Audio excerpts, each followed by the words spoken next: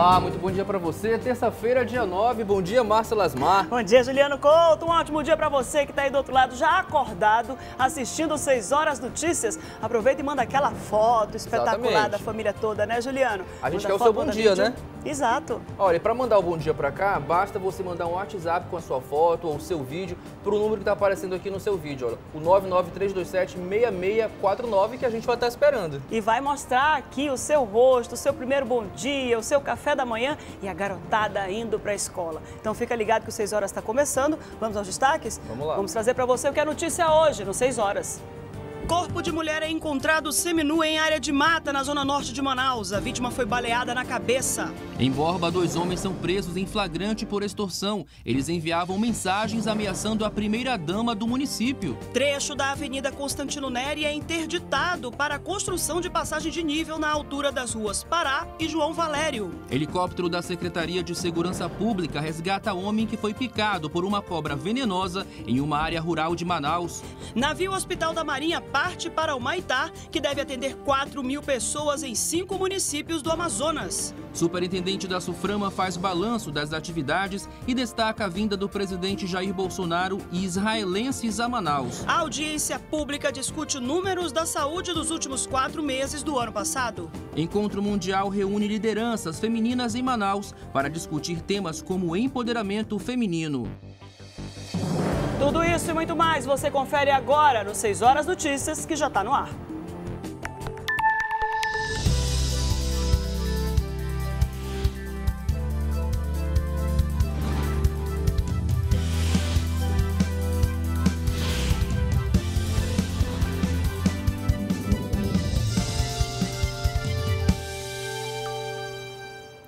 Parte da Avenida Constantino Neri vai ser interditada para a construção de uma passagem de nível na altura ali das ruas Pará e João Valério. E isso deve dar mais fluidez ao trânsito nessa área da cidade. Agora, atenção, passageiros e também motoristas. Algumas das linhas de ônibus terão os itinerários alterados e os condutores também devem ficar atentos para as mudanças que vão ocorrer ali naquela área.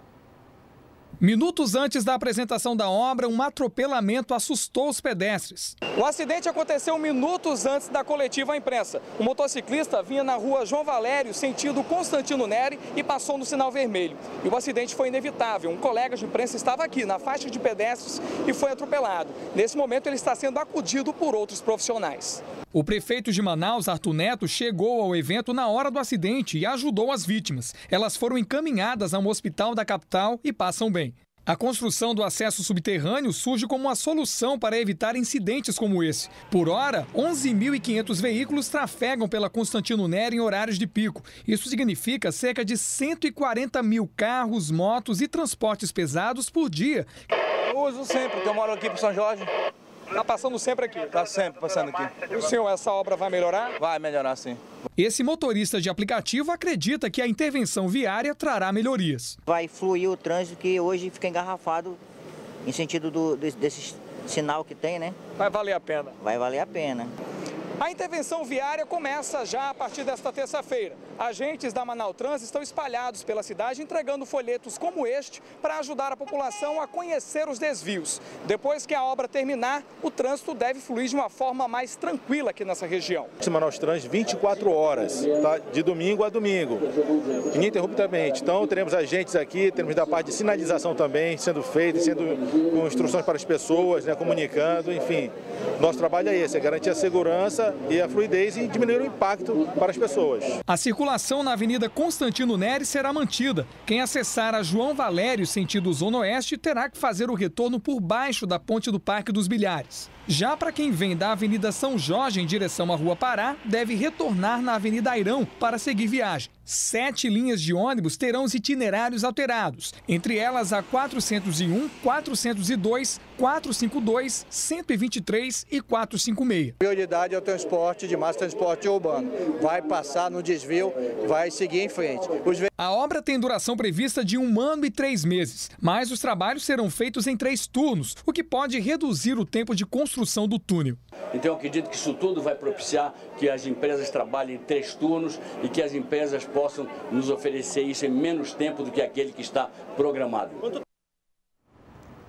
todas essas mudanças são para melhor, né? A gente tem que torcer para que tudo dê certo. Vamos acompanhar como é que está o Waze nessa manhã de terça-feira, já com essas primeiras informações dessa possibilidade de, de, fechar esse trecho da Constantino Neri e a gente precisa entender direitinho como é que vai funcionar tudo isso a partir de hoje. Então vamos acompanhar o Waze para saber, ó, Aqui no E já está marcando o trecho da construção ali da Constantino Neri. Você vê esse trecho aí que, onde vai ser interditada a Constantino para a construção da passagem de nível. A gente não está vendo ainda retenção. Dá uma atualizada aí, Chevena, no mapinha do Waze para a gente saber é, se tem retenção. Ainda não tem retenção, nem na, no, na Avenida São Jorge, nem no sentido é, centro-bairro, nem no sentido bairro-centro. É um horário muito tranquilo, são 6 horas e 7 minutos. Tanto a Constantino Neri quanto a Djalma Batista estão estão com as avenidas tranquilas. A Rua Pará, aqui onde você acompanha, coloca a mãozinha aqui na Pará, por favor, Cheia Even. Ali na Rua Pará, sobe um pouquinho para a sua direita. Rua Pará também vai ser um dos trechos envolvidos no desvio, também está tranquila. A Rua Acre ali tranquila, que é um dos recursos que o motorista tem para poder chegar até a Djalma Batista. A São Jorge, como eu disse agora há pouco, também a Avenida São Jorge está tranquila, tanto na ida quanto na vinda, tanto na ida para o bairro quanto na vinda para o centro da cidade. E por hora, a Constantino Neri não está com retenção, não está com um fluxo é, muito forte. A gente está vendo que as duas ruas estão tranquilas.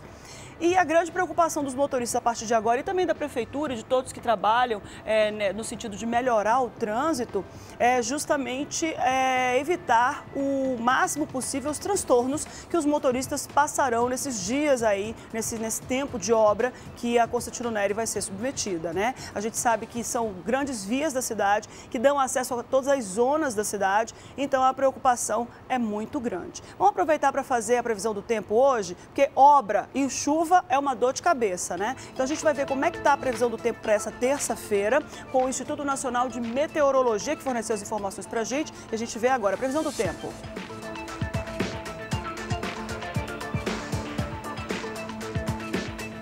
Dar uma olhadinha aqui, aqui na capital. Vamos ver se vai chover. Vai chover em Manaus.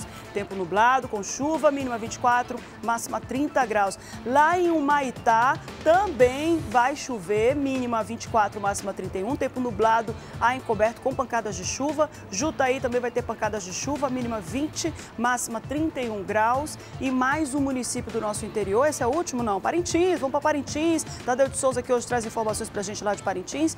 Também nublado, a encoberto com pancadas de chuva, mínima 24, máxima 30 graus. É importante lembrar que já amanheceu com uma leve chuva essa manhã de terça-feira em toda a capital amazonense, né? Manaus toda já amanheceu com uma leve chuva e a gente torce para que as obras comecem e para que essa chuva não atrapalhe muito a, o trânsito ali, não atrapalhe muito as obras, né? Vamos dar mais uma espiadinha no Waze, dessa vez a gente vai lá para a zona leste da cidade, onde a retenção é visível nas principais avenidas da zona leste. Vamos aqui na zona sul rapidamente, General Rodrigo Otávio, é zona sul, essa é a rua que sai ali da Bola do Coroado e que dá acesso ao Distrito Industrial e à Universidade Federal do Amazonas. Quem vem lá da zona leste da cidade, da zona oeste, quer acessar a zona sul, de repente passa pela Avenida General Rodrigo Otávio, vai enfrentar retenção sentido bairro centro, inclusive uma grande retenção. A gente está vendo uma faixa extensa aqui vermelha é, é uma área, é, uma, é normal essa retenção nesse horário, até porque tem rota do distrito, tem, tem turnos muito cedo ali no distrito industrial, que o pessoal está indo para pegar o turno, para assumir o turno. Tem a Universidade Federal do Amazonas, tem uma grande escola também, tem escola japonesa à direita, ali bem em frente ao FAN tem a escola japonesa, a escola bilíngue, que também é, funciona ali, também dá uma retida no trânsito. Vamos sair da Zona Sul, vamos para a Zona Leste da cidade, lá para Altais Mirim, com uma grande retenção. A gente vê uma grande grande retenção sentido bairro centro. A gente está vendo ali, voltando ali da Altais Mirim, olha, sentido bairro centro da cidade, a gente está vendo uma grande retenção, quase toda Altais Mirim, com fluxo carregado de veículos, com muitos carros. A gente está vendo uma faixa vermelha ali do Waze, que indica que o trânsito está pesado, que o trânsito está pesado, fluxo alto de veículos.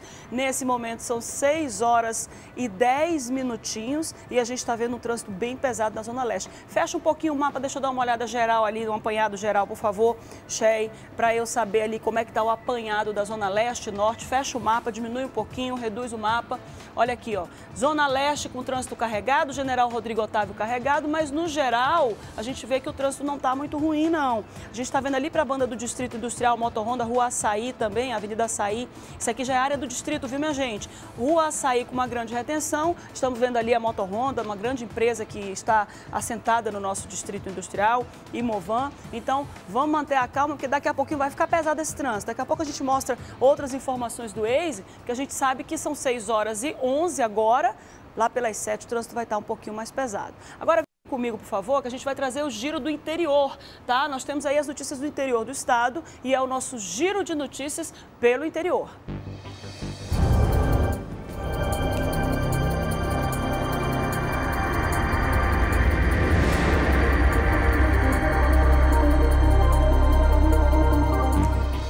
Helicóptero da Secretaria de Segurança Pública resgatou ontem um homem que foi picado por uma cobra urucucu em uma surucucu, desculpa gente, surucucu em uma área rural de Manaus. Em menos de uma hora, o rapaz foi trazido da comunidade São Pedro até o Hospital Tropical, onde tem o soro antiofídico e faz o, a, a anulação do veneno, né? Na zona centro-oeste da capital. E quem conta essa história pra gente é Valdir Adriano.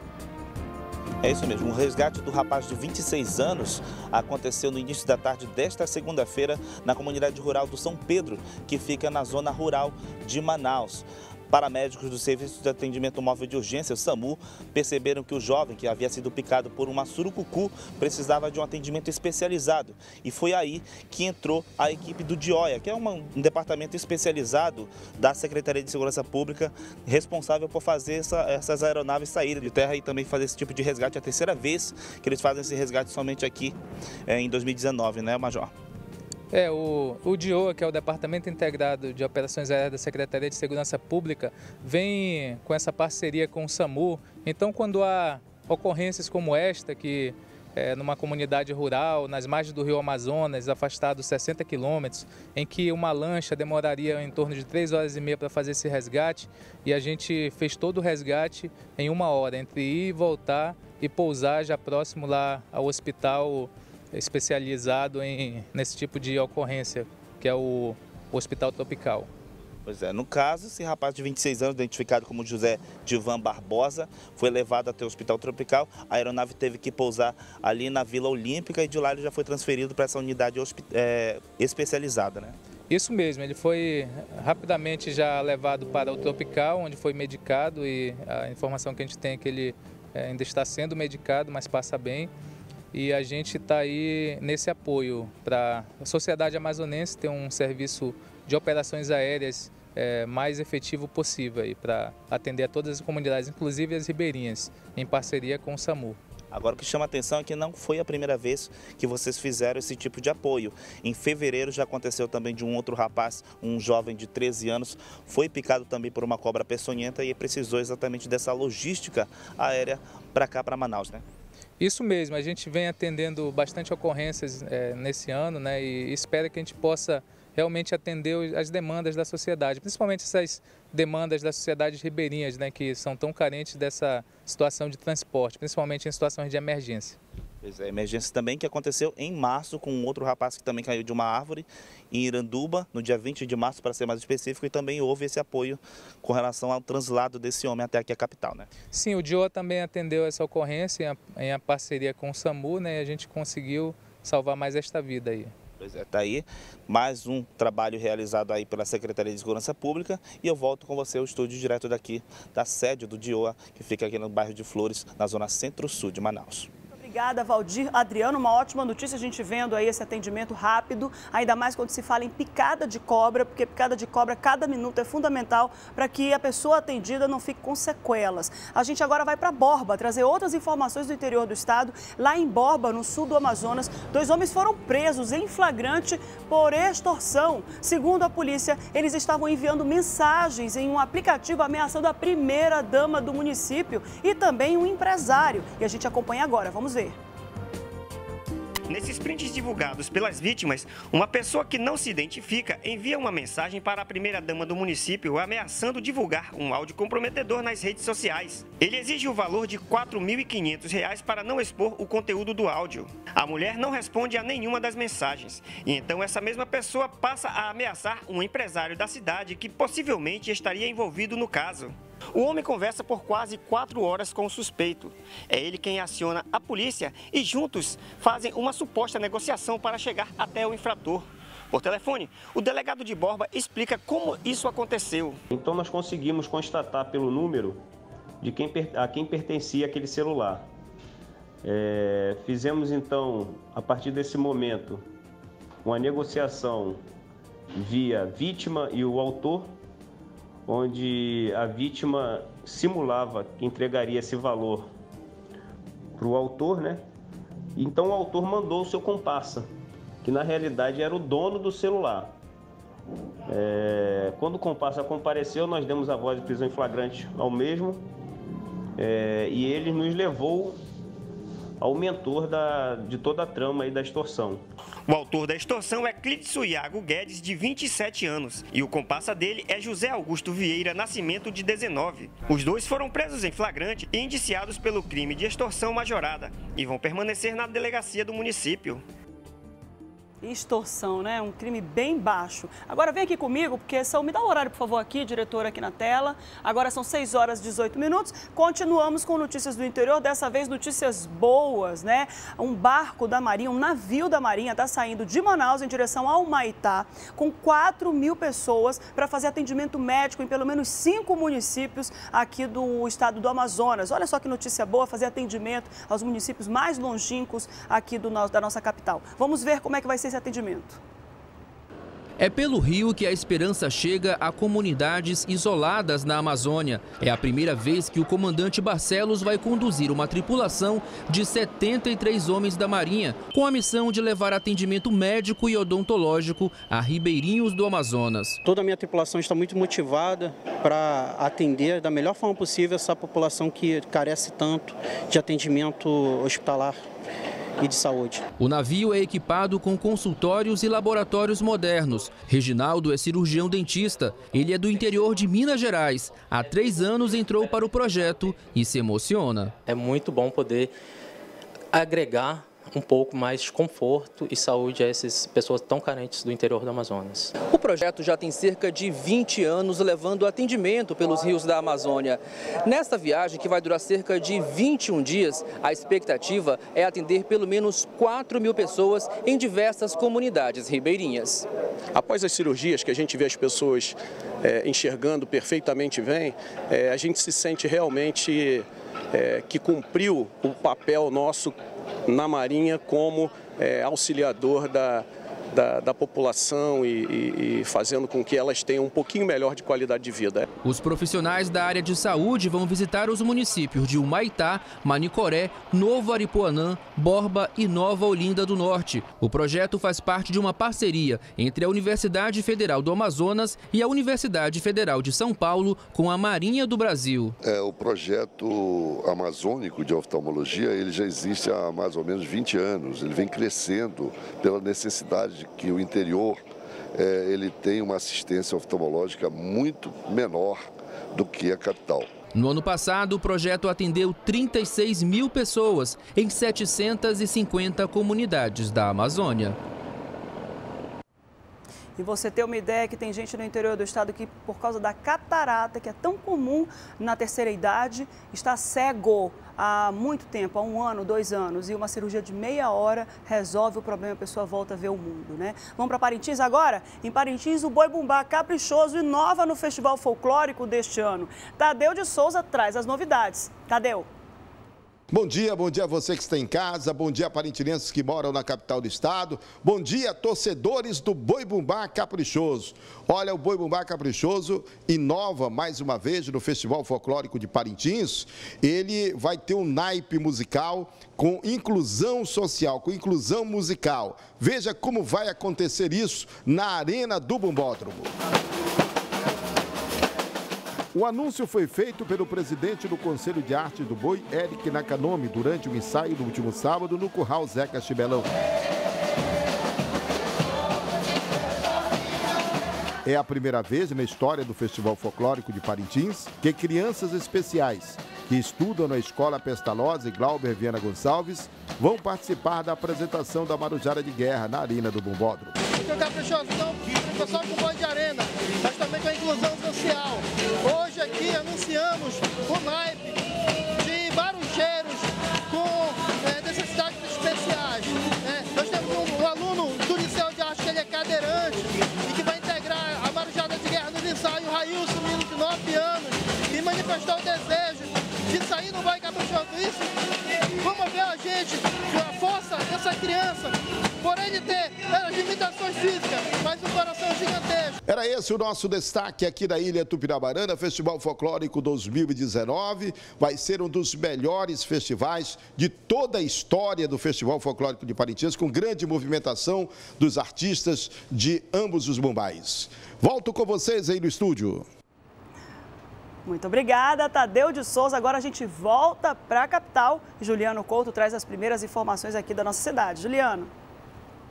É isso aí, Máxima. Décima edição do Boletim Epidemiológico da Síndrome Respiratória Aguda Grave informa que o Amazonas segue aí com 998 casos notificados do vírus, 120 positivos para o vírus da influenza, o H1N1, e 170 para o vírus sincincial respiratório. A atualização é em relação ao vírus sincincial, que passou dos 17 óbitos para 19 óbitos no Amazonas. São 17 mortes na capital, um em Borba e outro em Manacapuru. Em relação a óbitos por outros vírus respiratórios, não houve alteração. Ainda na edição do boletim, continua 33 o número de óbitos por H1N1 no estado, sendo 26 aqui em Manaus. Complicado, né? A gente continua tendo mais casos aí, né? Continua, mas a gente tem fé que a partir de agora, depois do início da vacinação, que foi antecipada agora para março, né? Que esses números já comecem a ficar estáveis, ou seja, que não aumente mais nenhum número de óbito, pelo menos, e que o número de doenças também vá diminuindo a gente torce para que isso aconteça. A vacinação foi um sucesso, quase 100% de todos os grupos de risco foram vacinados e aí quem ainda não conseguiu se vacinar, as vacinas seguem ah, nos postos de de saúde em pontos da cidade para poder atender a todo mundo. Esse foi o 19 boletim né, da epidemiológico que a gente recebe aqui no, no estado e recebe aqui nos noticiários para poder levar essas informações para você. E a gente continua, mesmo já tendo sido vacinado, com as preocupações, porque além do H1N1, tem o sincicial respiratório, influenza 3 que praticamente tem os mesmos sintomas e os cuidados devem ser redobrados, né? Tem que manter aquele cuidado que é tão defendido pelo Ministério da Saúde, lavar sempre as mãos, continuar espirrando e tossindo no antebraço, não tem jeito, é, manter a higiene das mãos, cuidar a, das crianças muito pequenininhas, para que elas não, não, não vão até locais com muitas aglomerações, com muitas pessoas, e se porventura tiver que levar a criança para locais assim, que seja locais abertos, ou então abra a janela, abra a porta para o vento circular, porque a grande problemática é a contaminação, né? Essa que é a grande preocupação, é a proliferação da doença e a contaminação ela tem como ser controlada. Se sabe exatamente como se contamina, o que é uma, um fator muito importante para evitar o aumento do surto da doença. Então a grande preocupação é essa. E vamos cuidar dos grupos de risco, grávidas, idosos e principalmente com as nossas crianças. Vai para a escolinha, coloca ali o álcool gel para na hora do intervalo passar o álcool gel na mão para evitar, porque a gente sabe aí que as crianças estão mais vulneráveis ao vírus da H1N1. Agora são 6 horas e 26 minutos, a gente já vai passar o bloco, é isso? Isso, vamos para o intervalo. Vamos para o intervalo. Olha só, daqui a pouco a gente vai falar sobre como foi o encontro do superintendente da Suframa com a imprensa, falando aí do, do balanço dele dos primeiros 60 dias da administração da autarquia. A gente volta já já.